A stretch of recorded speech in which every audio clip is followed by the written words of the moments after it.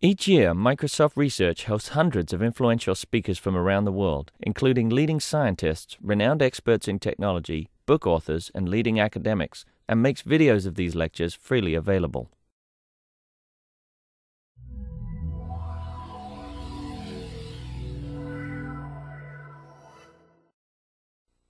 So it's a pleasure for me to introduce uh, Tom Ristenpart from University of California, San Diego. He is one of the best students of Mihir Bellare, and he's going to talk today about his work on constructing cryptographic hash functions. Uh, thanks. Uh, I don't know if uh, the best student is the uh, uh, appropriate description, but uh, one of his students at least. so yeah, I'll be talking about cryptographic hash functions and how we'd like to how to build them. and this is joint work with my advisor Mihir Bellare. So, oops. So what is a cryptographic hash? Oh, so I should say before I get into everything, I'm going to try and keep this pretty accessible. I don't know if everyone here is a cryptographer or not, uh, but if, uh, if, you feel free to jump in with questions if uh, something's not clear. So what is a cryptographic hash function? Well, it's a deterministic, publicly computable function from some large domain to a small domain. And it's, uh, that, that means it's a function f that maps a bit string of almost any length, perhaps arbitrary length, to some small fixed uh, length for example, 160 bits. And what makes these uh, functions interesting is that they provide compression with security guarantees, which we'll be talking about throughout the rest of the talk. And they've become very handy tools in cryptography and security uh, and are used quite widely in uh, protocols and, and tools such as SSH and SSL and IPsec, whose security rely on having secure cryptographic uh, hash functions. So to motivate one of the uh, uh, security guarantees that we would like from a cryptographic hash function, let's look at a traditional application, which is digital signature schemes. And a digital signature scheme is going to allow some uh, party to attest the authorship of a message. And one of the traditional ways of, of making a uh, digital signature scheme is using cryptographic hash functions. So one has a, a, some type of big message, like an email message or a file, and what you first do is compress it using a cryptographic hash function to generate a small message digest. And then this is run through a, a signing algorithm using some secret key only known to the person trying to generate the signature uh, to generate this, this signature. And then, uh, so the party who generated this uh, uh signature can send their public key, uh, this big message and a signature to someone else, and then they can verify that the, the uh, signature is correct and therefore that this person who had the secret key generated the message. So we can see that uh, if we have an adversary now who just knows the public key not the secret key, if he's able to find two messages that aren't equal but that hash down to the same value, then we're going to end up with uh, signatures that are equal. And maybe this adversary can then convince uh, the person who actually has the secret key to sign message one, and then he can uh, take that resulting signature and give someone else message two in the signature and, and trick them into thinking uh, the uh, other message was what was signed. And this would then uh, break our confidence in the digital signature scheme, allowing us to actually attest to uh, particular messages. So we call this a collision, finding two messages M1 and M2 not, that aren't equal but that hash to the same value. And so to build uh, secure digital signature schemes, we would want uh, that no adversary should be able to efficiently find collisions. So how do we build uh, hash functions that give us collision resistance? Well, the popular current design paradigm it proceeds as follows. One starts with a compression function uh, that maps a d-bit message block and an n-bit chaining variable to an n-bit string. And then one uses this compression function as a black box to build a hash function that works on arbitrary length strings or close to arbitrary length strings. The second step is really characterized by specifying a domain extension transform, which really tells one how to use this uh, fixed input length compression function to hash uh, long strings.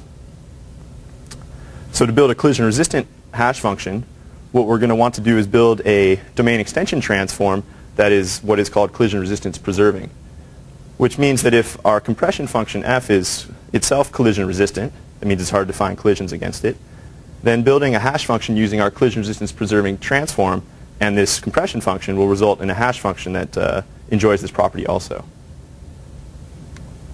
So the canonical transform in this, in this uh, uh, domain is the, what's not commonly known as the strengthened Merkle-Damgard uh, transform. And it just specifies that you take an input message, append to it its length, and then chunk that into uh, some blocks and iterate the compression function over the result. And here the IV is just a constant initialization vector for the first chain variable. And this is a little bit of a simplification. There's some more padding rules involved, but uh, this will suffice for our discussion. And uh, this is, the, in fact, the transform that was used to construct uh, uh the MD and SHA family of hash functions, which are uh, the most widely used today. And so in this talk, I'm really going to be talking about transforms and what type of transforms do we want to uh, use to help us build hash functions, and not so much about compression functions. So unfortunately, there's been some recent uh, collision finding attacks published against uh, hash functions such as MD5 and SHA-1. And they show how to find two messages that uh, hash to the same value. Now, these attacks don't uh, imply that the transform is weak. Um, in fact, they show that the compression function is weak. Uh, so the contrapositive of our previous guarantee gives us that since we found collisions against the full hash function, we've actually shown that the uh, compression function itself is not collision resistant. So the attacks are actually um, pretty damaging. The MD5 attacks are, are quite practical. Uh, for, I think, the best uh, attacks right now to generate uh, collisions for a random, two random appearing messages that are different in just a few bits requires just 11 minutes on a, uh, a personal computer. Much uh, more recently, they've shown, some researchers have shown that one can find uh, much more structured messages and uh, that collide, um, such as, for example, X509 certificates. And that requires significantly more computational effort, uh, about six months, but still certainly tractable. And, and they actually did compute a, uh, a collision for two uh, valid X509 certificates. The SHA-1 attacks, on the other hand, are, are, what cryptographers would call efficient. Uh, and to generate collisions for random messages would take approximately, I think the best one right now is 2 to the 63 operations. But it seems that every, uh, every conference you go to, this, this exponent's decreasing a little bit. So in response to this, uh, these uh, recent attacks, the National Institute for Standards and Technology has announced that they were going to hold a national hash function, a competition for a new national hash function standard. And I just want to bring your attention to uh, so they, they, they gave a, uh, uh, in January they announced some, whoops, uh, proposed requirements for the competition. And let me just draw your attention to two of those. Uh, one, of course, is the collision resistance. And the second is this mysterious notion of indistinguishable from a random oracle. Um, so we've already seen good motivation for why we would want hash functions that are collision resistant. Uh, let me talk about what this indistinguishable from random oracle might mean or does mean. Uh, so a random oracle is uh, an idealized object that just maps every input string to a randomly chosen output string. It's uh, an oracle in the sense that we give uh, uh, access to it to all parties involved in a cryptographic uh, protocol, so both honest and dishonest parties. And what the random oracle really represents is a, a completely idealized black box notion of hash functions. In, in some sense, a random oracle is all that we could ever ask from a hash function. And why is, are random oracles important? Well, they've been used to prove the security of schemes, uh, uh, of very important schemes. So, for example, RSA OAEP, RSA PSS, which are an encryption and, and uh, digital signature scheme that are uh, standardized and, and used um, very widely. And so the, the arguments that uh, show that these are secure encryption and digital signature schemes rely on modeling the, uh, a hash function as a random oracle. Of course, in the real world, we don't have uh, this oracle in the sky providing random looking outputs. So in practice, we instantiate this random oracle with a real hash function f. And a popular choice has previously been SHA-1, um, and I guess still is to a certain extent. So this, uh, this means that we want to build hash functions that, uh, as closely as possible, mimic the behavior of a random oracle. And so a question is, well, if we use hash functions to build uh, I'm sorry, if we use uh, Merkle-Damgard with strengthening type transforms to build our hash functions, is that going to give us a hash function that acts like a random oracle? So unfortunately, that's, that's not really the case. Um, so let me go over an attack on uh, hash functions built using Merkle-Damgard with strengthening called an extension attack. And this has been known for uh, quite some time. So if we have a message m sub question mark that's unknown to an adversary, and we additionally, uh, and we give this adversary a new, a different message x that it does know, the length of this unknown message, and the hash of this unknown message, then it's actually quite easy for the adversary to compute the hash of a related message, which we'll call the extended message, which is the unknown message concatenated with its length, concatenated with this known message x. So to see this, for example, let's just think that all the messages involved are one block in length. And we can see that given these three values, the adversary can use the compression function uh, twice uh, with initial uh, chaining variable being the hash that it's hash value that it's given.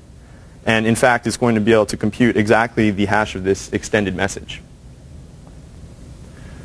Uh, so why do we care about this? This doesn't actually affect collision resistance, uh, of course, but it does mean that this hash function constructed with Merkle-Damgard with strength does not behave like a random oracle.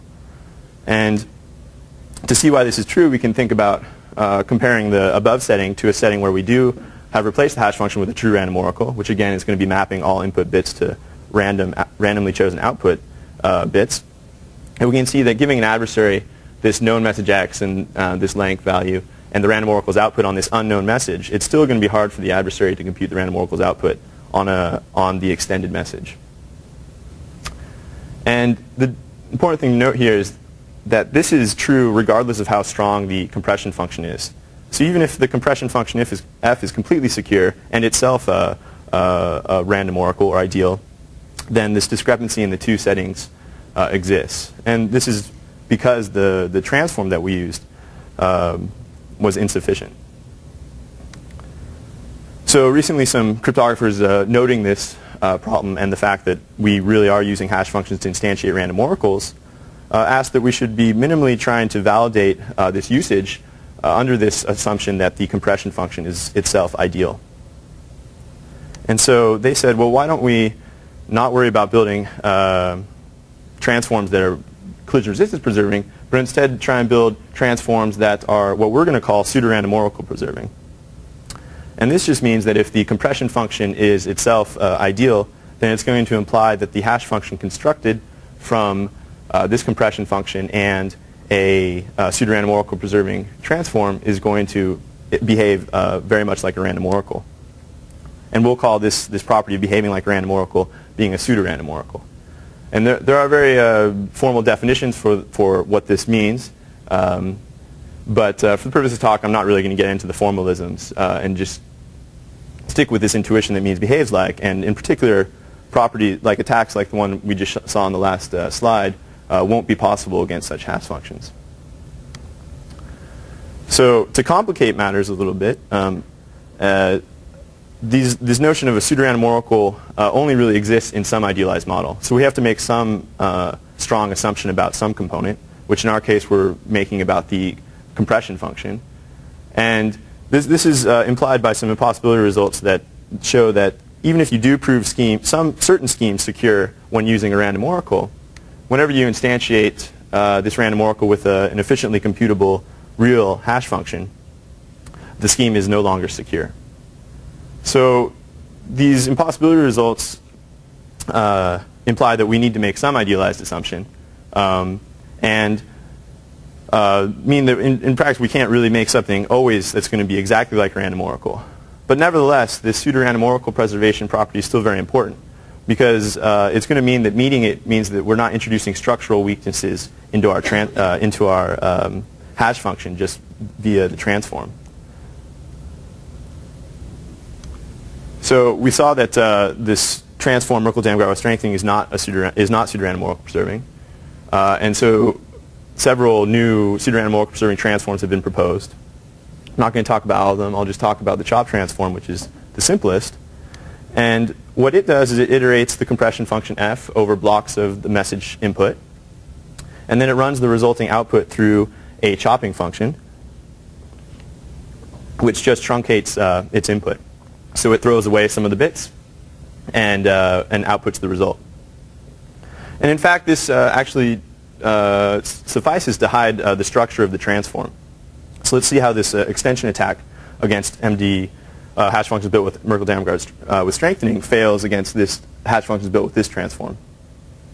So if we give uh, an adversary now an a message x and the hash of some unknown message, we don't need the length anymore, then it's actually going to be hard still for this adversary to compute the hash of the related extended message. And we can see this because the hash of the unknown message that's given to the adversary is equal to this. We, we run it through the compression function once, and then we chop off a bunch of the bits. And so to mount the trivial attack that we talked about before, uh, the adversary would need to know those bits that were chopped off to be able to uh, compute the uh, hash of the extended message. And so it's exactly those bits that were, uh, were removed which uh, disable the adversary from mounting this attack. And so in this way, it's serving to hide some structure of the underlying iteration. And therefore, the chop transform is pseudorandom oracle preserving. So uh, Mihir and myself, uh, in, in some work in 2006, um, looked at this a little bit more carefully, this uh, idea that, okay, now we have this new goal of building transforms that are pseudorandom oracle preserving, and maybe this is, this is great. We should just uh, get rid of Merkle-Damgard with strengthening and, and use this for building new hash functions. And, and indeed, we agree that, uh, that it's a very desirable property because, as we've seen, it, it gives us some more confidence in using hash functions built with such transforms for uh, instantiating random oracles. But on the other hand, we point out there's actually some danger in using these types of transforms uh, to build the next generation of hash functions. And the important observation is that uh, hash functions are going to be used not only to instantiate random oracles, but just also for being collision-resistant functions.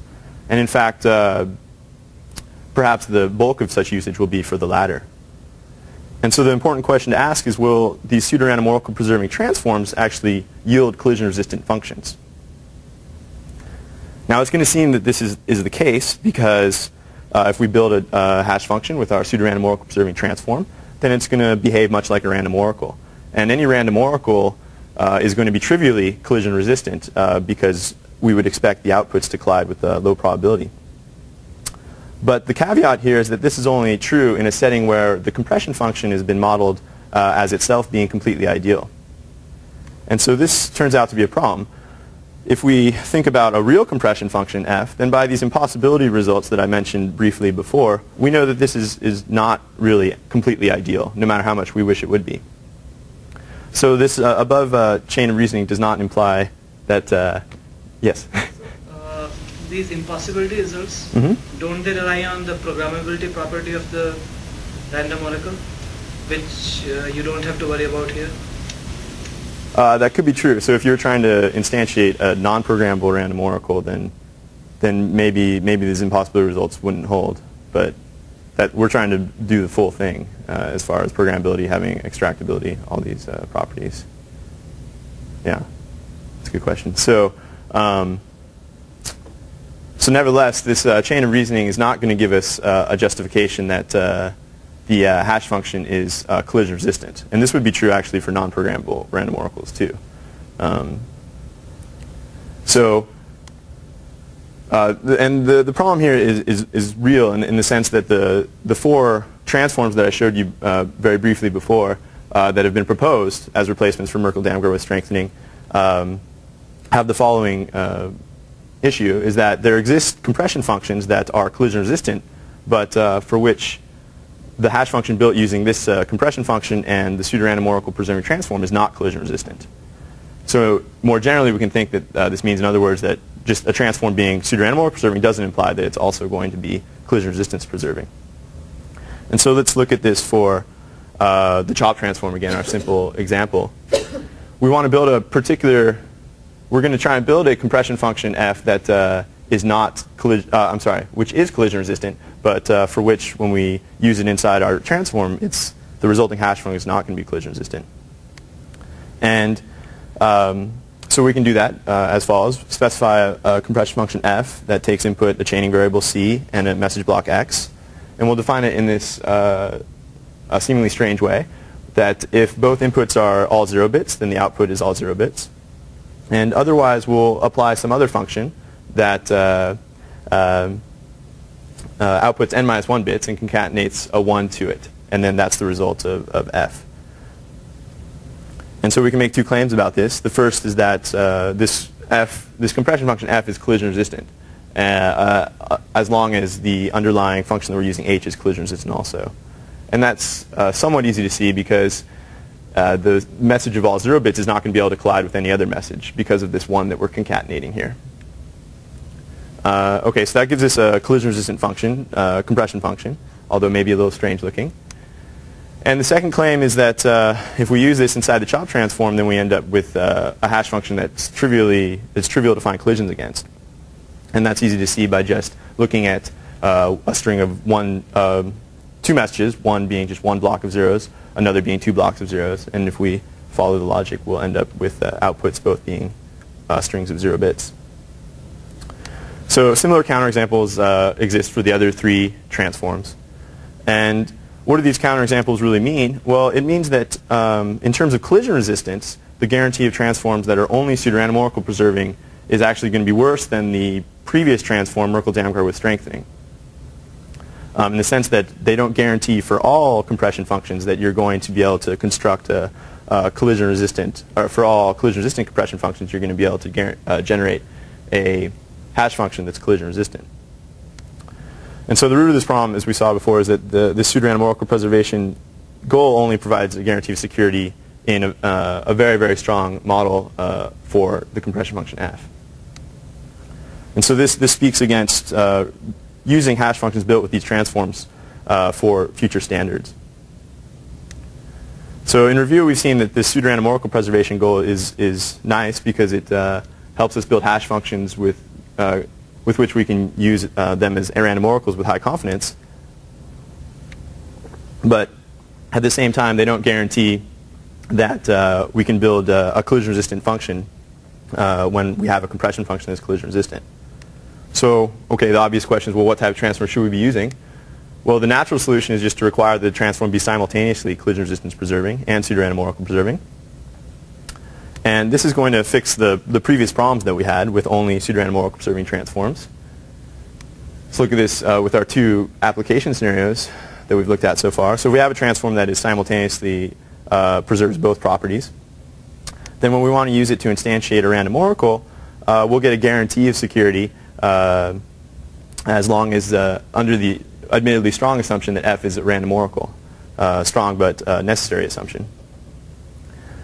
Whereas if we use our hash function for uh, settings where we just require collision resistance, we get a guarantee of security for our uh, signature scheme under the much weaker assumption the compression function f is, is collision resistant.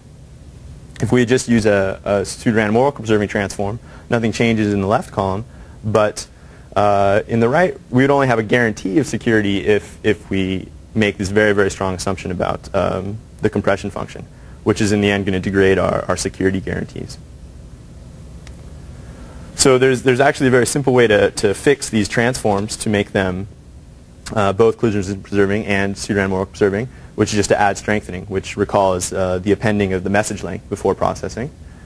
Um, but while we're, uh, while we're investigating these uh, transforms, we note that hash functions actually have more applications than just the two we've described.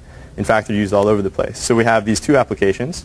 We also use hash functions quite uh, widely for message authentication, key derivation, and there's uh, a quite wide variety of others. And so we should be trying to build transforms that are going to help us give security guarantees for as many of these applications as possible. So let's look at uh, the two most, in, uh, most important just based on how widespread the use is. So, to, uh, so a message authentication system is, allows two parties who share some common secret key uh, to do the following thing. One of them can generate a message and then a tag value and send it to the other party. And the other party can then uh, verify this tag uh, for the message and have confidence that uh, whoever sent this message and tag pair uh, would have needed the secret key to generate it. And so it turns out, and this is very useful for all kinds of things. You can think of it almost as a symmetric equivalent of digital analog of digital signatures. Um, and hash functions actually turn out to be a very cheap and, and efficient way of building message authentication codes. And what we do is we just add key bits to our hash function and uh, say by setting aside some message uh, of the message input for the secret key, And then we can just generate our tag by hashing using this keyed version of the hash function uh, across the message. So in order to, for this to be secure, well, we would ask that the hash function, when keyed, uh, is going to act as what we call a good message authentication code or a good MAC. And this intuitively just means that most of the output bits of the hash function, uh, when applied to a message, are going to be unpredictable to anyone who doesn't have the key. This other application, key derivation, uh, we have a, a, party who has some secret key and wants to generate more secret keys. And so each of these derivative uh, secret keys are going to be used for maybe uh, several different uh, cryptographic primitives. Maybe they'll use K1 for an encryption scheme. They'll use K2 for a message authentication code, uh, etc. And so to ensure security in these uh, target schemes, we would want that the derivative keys are indistinguishable from random bits.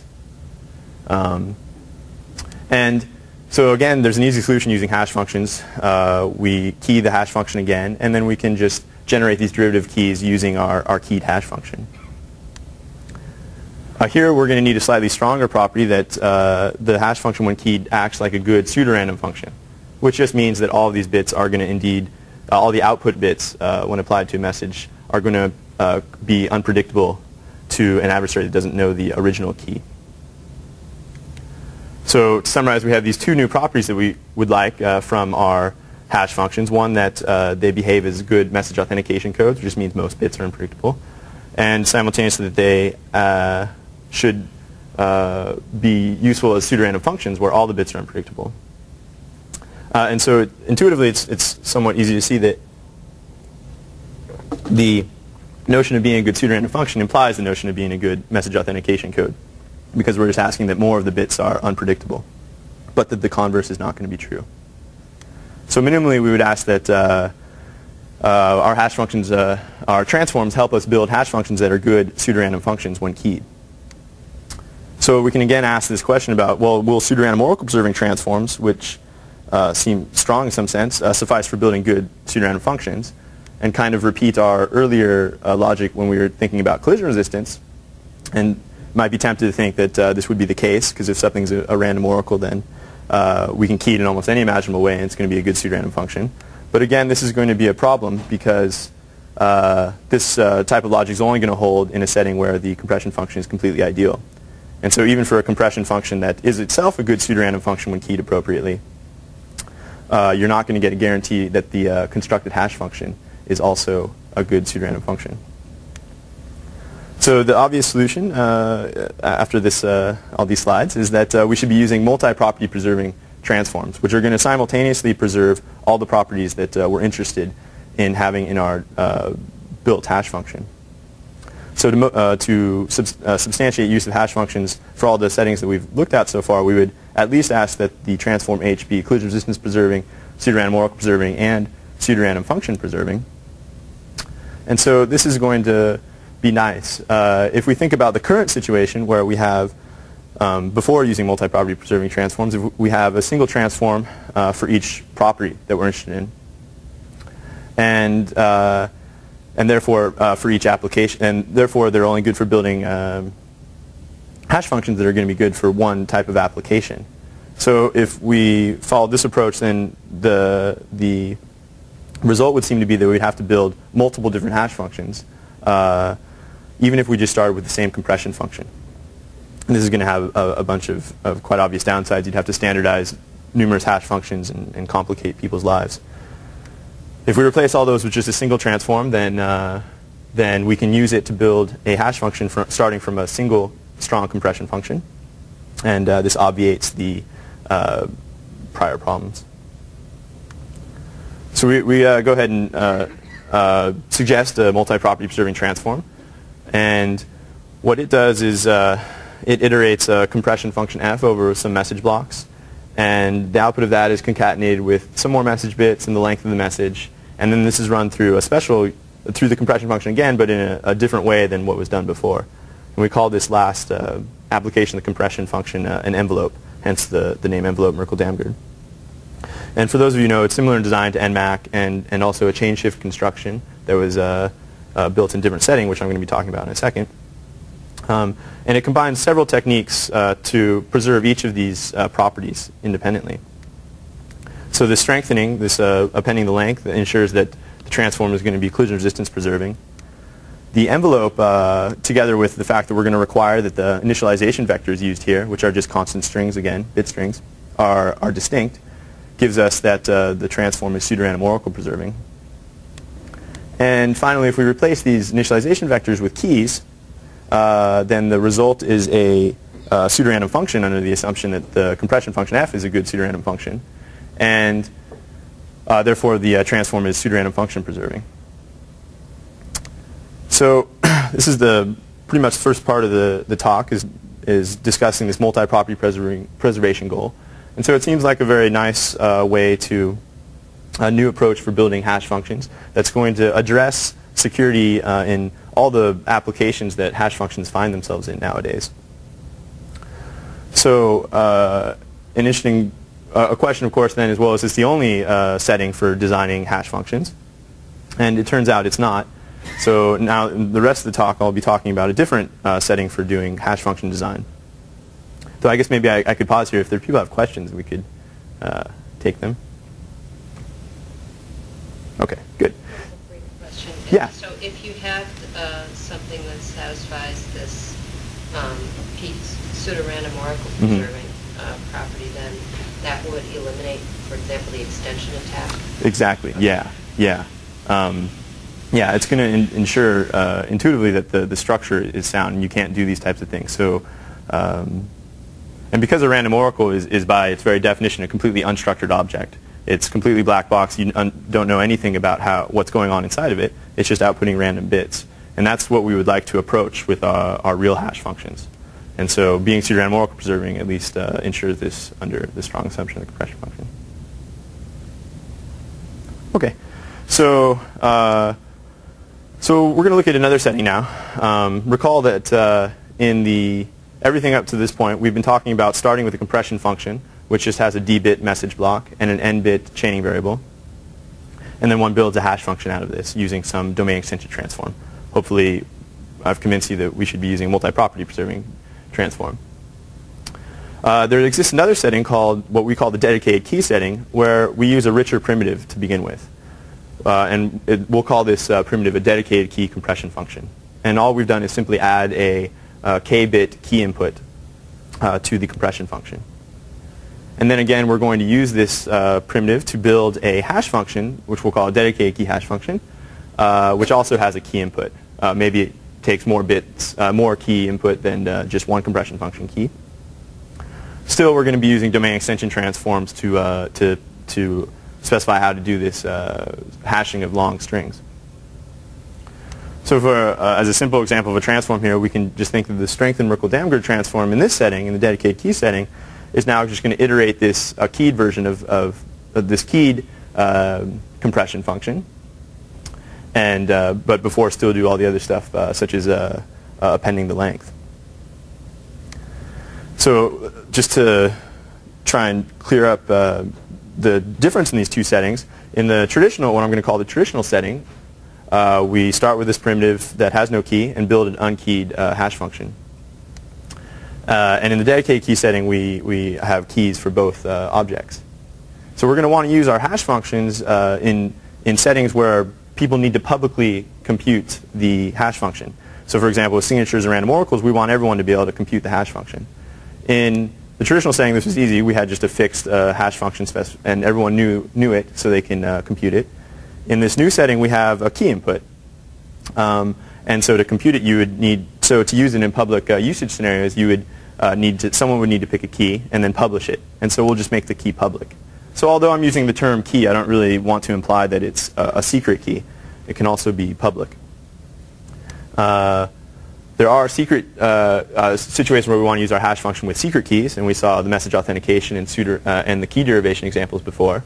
And so in this traditional setting, we had to go through this extra step of keying uh, the keyless hash function, and, uh, and then we can then use it with these secret keys.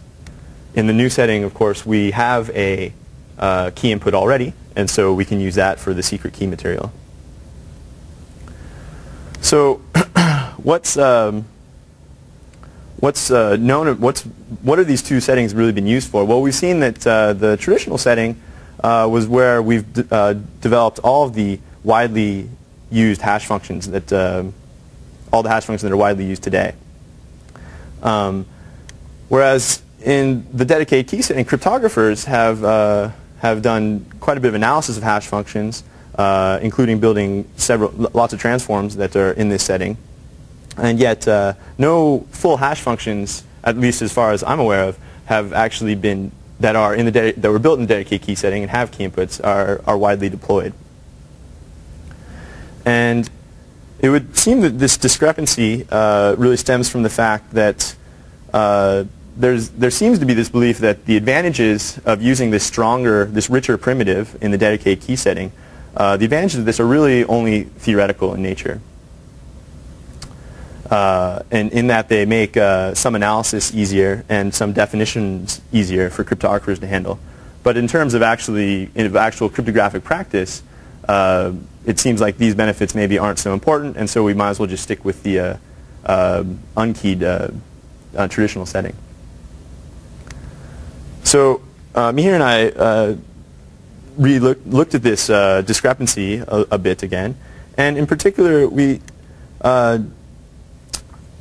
discovered that there's actually some practical advantages of using hash functions that are built in this dedicated key setting.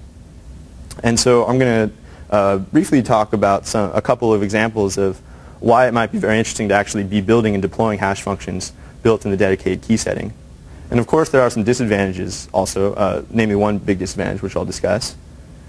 And uh, so the having uh, looked at these advantages and disadvantages, maybe someone would be interested in, in, in building uh, hash functions in the dedicated key setting. And so we go ahead and, and analyze transforms in this setting, which is what we like to do. Uh, and we'll do so from a, a multi-property preserving perspective, which hasn't been done before. So I'll talk about these, uh, these two uh, big items. So what, what are the benefits uh, with, with perhaps significant practical impact of using dedicated key hash functions? So I'll talk about two. One is this notion that we call hash function heterogeneity, and the other is uh, improved security guarantees, uh, particularly for message authentication, which is an important application hash function, as I discussed before. So hash function heterogeneity is actually a pretty simple idea. It's just since we have a dedicated, if we have uh, hash functions which have key inputs, well, users can actually then choose their own hash keys. And breaking, uh, now an adversary trying to break uh, the hash function will have to break individual instances of the hash function. To make this concrete, let's just look at one of the uh, applications of of hash functions, which is building digital signature schemes we saw before. So in the traditional setting, we just hash a message and then sign it. In the dedicated key setting, we can uh, do a similar thing, but now we're using a keyed uh, hash function to do the, the first step. And so if we think about a multi-user scenario where uh, everyone's, uh, many parties are using uh, digital signature schemes, we have Bob and Sue here, for example, but there could be many more. Uh, in the traditional setting, well, each of these parties would choose their own public key, secret key, which would be for the signing portion of the hash and sign um, construction. And then they would publish their public keys somewhere to a, a, trusted bulletin board, which we'll call a certificate authority, so that everyone can see them. Now, an adversary uh, here is going to, if he wants to break the digital signature um, scheme for these uh, parties, well, he can try and do so by uh, finding collisions against the hash function, as we, we discussed uh, before. And so even if this takes uh, quite a bit of work, say something like 2 to the 61 uh, operations, once he's done, some, done this uh, large amount of work, he's succeeded in compromising uh, the security of all users' digital signature schemes. And the only fix is, is what we're actually facing now as a community, which is to, de to design and deploy a new hash function. So even if he does have to do a lot of work, he's done once he's done it once. Everybody's, everybody's toasted. Um, now if we replace, if we think about uh, the same uh, setting but with dedicated keys, hash functions, now each user is going to additionally pick uh, a, a, hash function key. So we have k sub Bob there uh, and k sub Sue over on the right and uh, publishes as part of their public key. And so now uh, the adversary who would want to come and uh, break uh, people's digital signature schemes, well, he's going to have to attack the individual instances. So to break uh, Bob's hash uh, to break Bob's instance of the digital signature scheme, he would via the hash function, he would try and find collisions against that particular key, which maybe again is going to take uh, 2 to 61 work. But then to go on to break Sue's uh, uh, instance, uh, he would have to attack uh, a different hash function key, doing perhaps again 2 to the 61 work. And so doing some simple arithmetic, we get uh, that he has to do more work. And of course, if he has to do this for lots of different parties, then um, this uh, could turn to much more work for the adversary. And, and additionally, there's actually a, a temporary fix for, um, for these attacks, which is the Bob or Sue could just pick new keys, forcing uh, the adversary to repeat this effort. Which is, I say temporary because, of course, if the adversary's attacks get better, then eventually you'd have to deploy a new hash function. But maybe this would suffice for a little while. So this uh, notion of hash function heterogeneity, uh, it seems like in, in practice uh, it could be a practical hurdle for attackers. Um, because for these types of collision finding attacks particularly, which are on the cusp of practicality, um, the, this extra type of security buffer could be quite beneficial. And of course it has this nice property of easily refreshing uh, keys. So let's look at uh, an, another uh, benefit of the uh, dedicated key setting. If we think about message authentication, well, we use a if we use a transform like uh, envelope Merkle Damgard, which I talked about before, to build a hash function that we want to use for message authentication, then we're going to get a guarantee of security uh, only under the uh, assumption that the, the, compression function f is a pseudorandom function, which means, again, that all of its output bits are going to be unpredictable. And this is because uh, envelope Merkle Damgard is pseudorandom function preserving. Uh, so using such a compression function helps you, and this transform helps you build a, a good pseudorandom function, and then any good pseudorandom function is a good message authentication code also. Now, we point out this security guarantee is actually worse than what one would get if they started with just a, a, compression function that was assumed to be a message authentication code and a transform that was message authentication code preserving. And why is this the case? Well, since a pseudorandom, being a pseudorandom function is strictly uh, harder than being a good message authentication code, um, we would imagine that uh, breaking a compression function in terms of being a pseudorandom function is actually going to be easier than breaking it as message authentication code. And intuitively, this is uh, just because uh, predicting some of the bits of the output, maybe just a few of them, is sufficient to, uh, uh, to break it as a pseudorandom function, but certainly not as a message authentication code. And so if such an attack as this does exist, then uh, we're, we're, we lose our security guarantees under transforms like EMD. Um, but we're still, we're still okay if we had a message authentication code preserving transform. So you're probably wondering why I'm beating up on my own construction a little bit here. Um, why didn't we consider message authentication code preserving in the first place when we uh, did the first 30 minutes of this talk? Well, the problem is that in the traditional setting, actually, it's, it's, there's no known efficient Merkle Damgard style transforms that preserve being a message authentication code.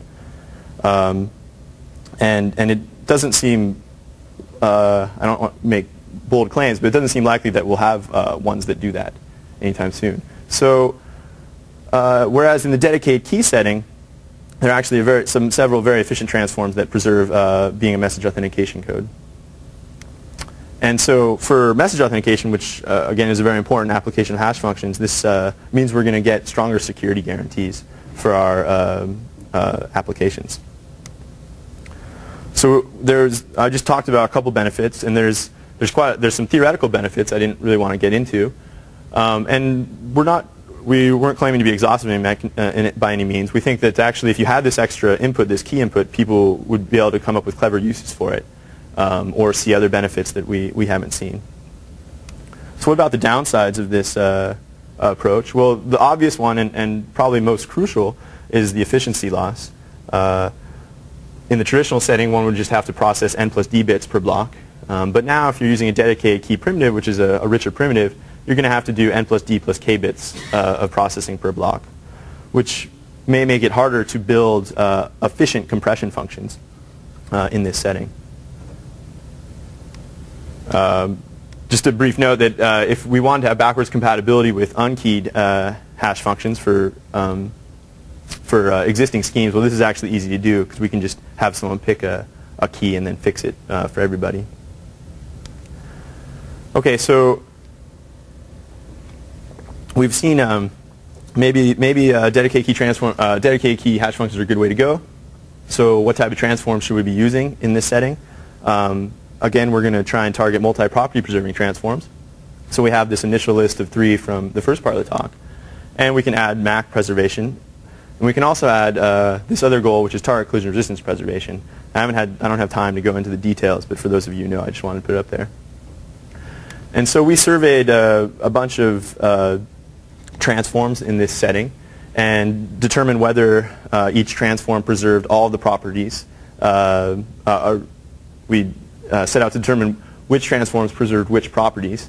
And the blue, the blue are known results, I guess, and the, the orange are, are new results that we added. So we basically filled out this table. Um, and on the right, it just shows how many key bits are required for each uh, transform. And so what we'll notice is that uh, none of the transforms preserve all five properties. Um, and only one of them preserves uh, the first four properties. Now, preserving target collision resistance, I didn't have time to talk about this very much, but it actually requires a significant number of key bits, and there's some uh, Im uh, impossibility results that, that suggest that we're not going to do much better. So target collision resistance maybe is in a category of its own. But uh, nevertheless, uh, even the one, the, the one transform that preserved the first four properties requires two compression function keys, which is this uh, fourth one down, strengthened, strengthened nested iteration transform.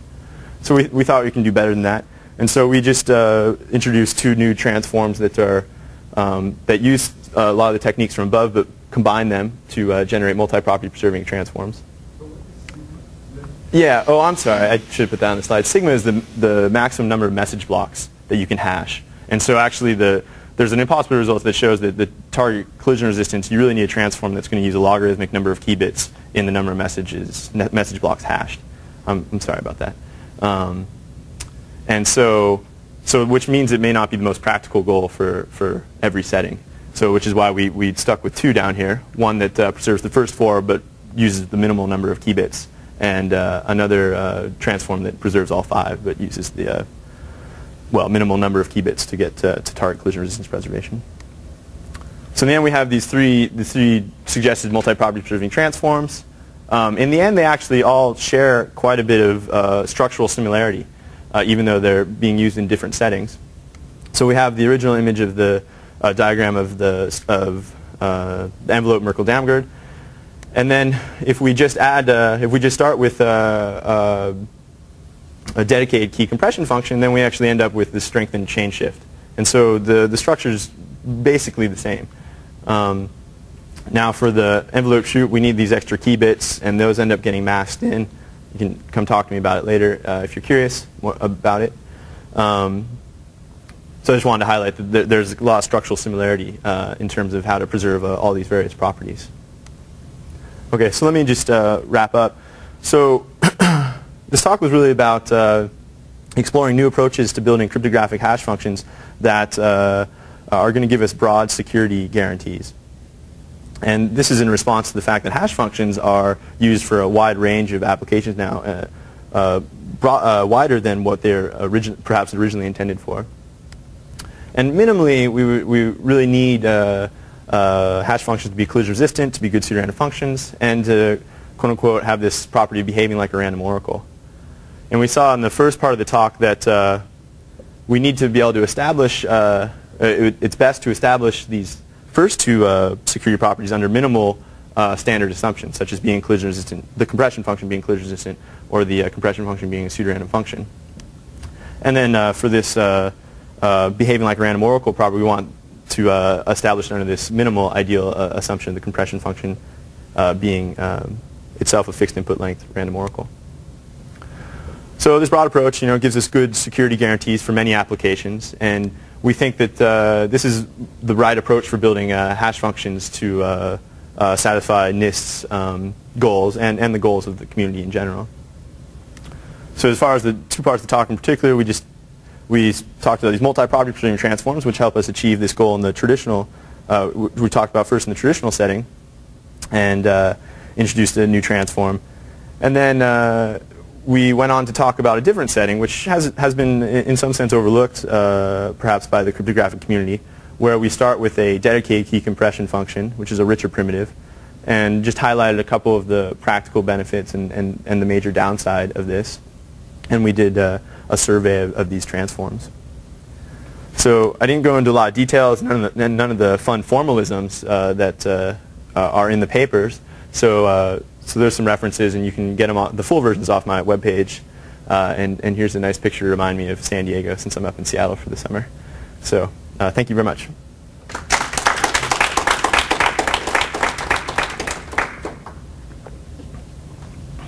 Thanks, Tom, for the talk. Great. Any questions? So I'm wondering, did you look did, did you look at the security of concrete instantiations of envelope Merkle Damgard? Concrete instantiations, but you mean with a particular with compression a particular, function? With a particular uh, compression function. Well, the problem is we don't have any. I mean, the the uh, compression functions that have been used before, like the ones under SHA and MD, we don't like anymore. And so the cryptanalytic community is coming up with new ones. And so we haven't looked at uh, any in particular yet. Um, um, yeah. So I don't know what we would do with the concrete instantiation, try and cryptanalyze it. Uh, it's a little bit outside my, uh, my uh, specialty. So, yeah implement this dedicated keys approach, usually how, how large are the keys that you're using? Um, I mean, it's going to depend on what type of compression function you want to build. Uh, there aren't any good examples of, of, of in my mind, of, of, dedicated key compression functions yet. So our point was more that uh, this is something that maybe cryptanalysts should um, say cryptanalysts, but cryptanalysts are the ones who generally make the compression functions. That's something they should consider, that maybe adding uh, key inputs and, and setting them aside would be good. I would imagine that uh, if, you, if you were going to do this, you would make the, the key input approximately the same size as the uh, chaining variable, but that's just a, a wild conjecture, um, not knowing a lot of the details, the internals of the compression function. So about 160 bits. Just to yeah. play devil's advocate Absolutely. here, or maybe just to clarify, really, um, you know, in, in, at the beginning of your talk, you had we had this scenario if we have a collision-resistant compression function, and then we put it into a particular transform, we had a, a result. I forget who it was attributed to that. You know, if the that the if you broke it, that you would have had to break the compression function, right. which is indeed what they did.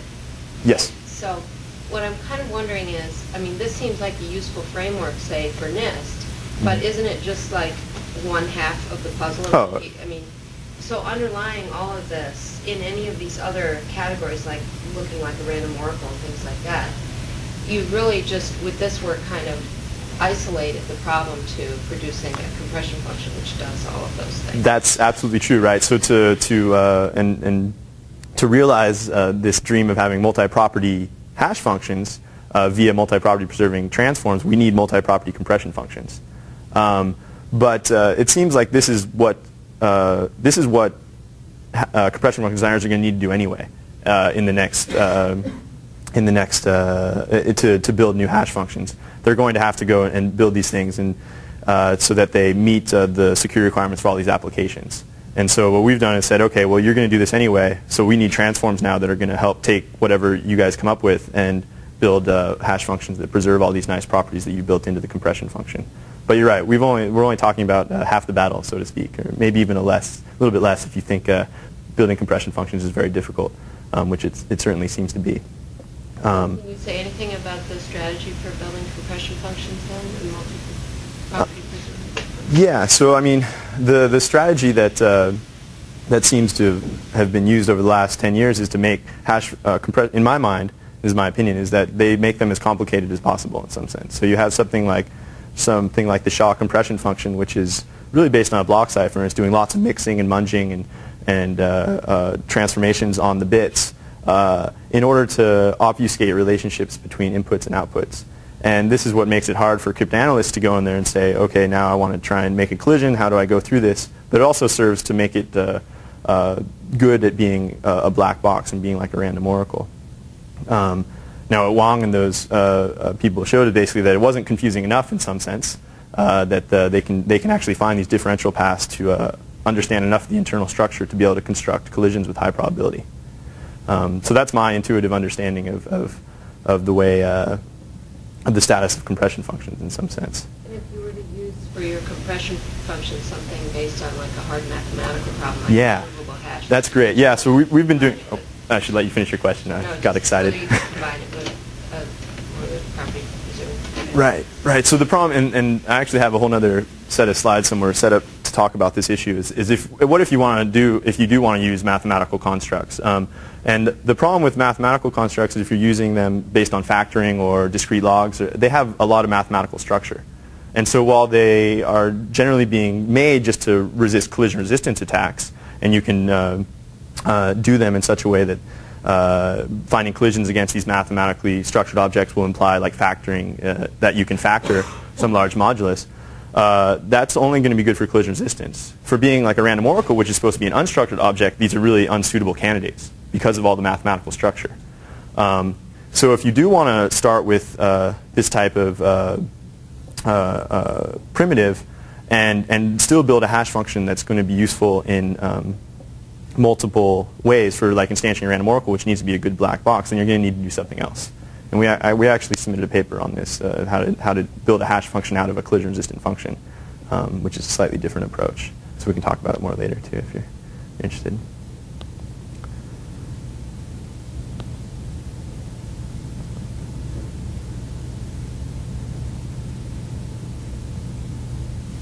Thanks.